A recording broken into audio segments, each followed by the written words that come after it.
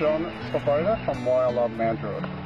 Today we are interviewing councillors uh, from Blacktown City Council. And today we have Councillor Jacqueline Donaldson who would like to be interviewed by us. Thank you. My name's Jacqueline Donaldson. Uh, for the last eight years I've been a councillor on Blacktown City Council. Uh, the last one of them I've been the Deputy Mayor, which has been great fun. What I'd like to um, talk about is the things that we've accomplished in the last, especially the last four years, and what I'd like to do in the future if I'm re-elected. So in the past, especially this year, I've actually seen quite a few of my initiatives put into place. So one of them is that instead of now having Mount Franklin Water on council venues, we have Thank You Water. Now Thank You Water is run by a group of Australian young men and all the profits go into helping underprivileged countries, so building wells, supplying clean water, things like that. And that's been something on my heart for a long time because I think instead of going into the pockets of large conglomerates, we now have the council money going out to help people in third world countries. Another thing I'm very proud of is the fact that it was my casting vote that kept Blacktown called Blacktown. If I had voted against it, it would have been lost and we could have ended up being Western Sydney, which I think is a very nondescript kind of name.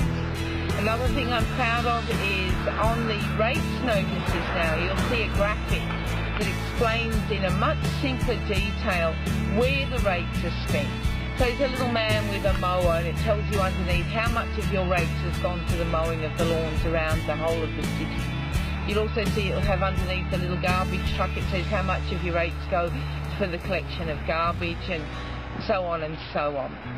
Another thing that I'm really proud of is I actually voted for the reopening of the pool in Ward 4. Initially I thought no, it's losing too much money and it should be closed. But I'm on the board of the um, anti-diabetes or the pre-diabetes committee that helps to bring ideas into the area about combating diabetes.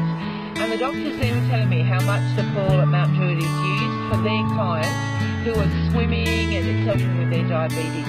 So when it came to, uh, to vote for the reopening of it, I did. So I'm proud of that as well because it shows that I listen to the community and I can change my mind if I have to on a big issue. For the future, see the mega park. I both years have a really good park in Mount George. To have one here similar to the one in the showground where families can go to barbecues and in the summer the water features and things like that. Because I think Mount